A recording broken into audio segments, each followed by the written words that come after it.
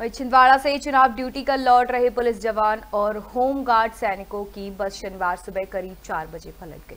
हादसे में इक्कीस जवान घायल हुए हैं। वहीं नौ जवानों को बैतूल और बारह को शाहपुर के सरकारी अस्पताल में भर्ती कराया गया है।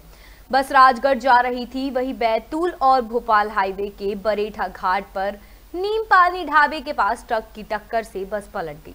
बस निजी कंपनी की थी, जिसमें छह पुलिस जवान तैतीस होमगार्ड सैनिक सवार थे।